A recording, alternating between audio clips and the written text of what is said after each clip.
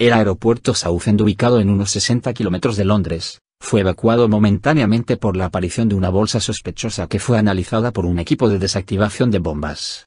El aeropuerto Southend, en el condado Essex, a unos 60 kilómetros de Londres, ha sido evacuado por una falsa alarma generada por una bolsa sospechosa que fue examinado por equipos de desactivación de bombas, informa la cadena IB.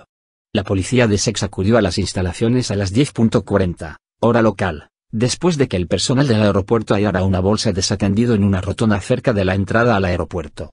Según informa BBC citando a la policía local, el acceso al edificio del aeropuerto ya ha sido reabierto. El equipo de desactivación ha confirmado que la bolsa solo contenía basura,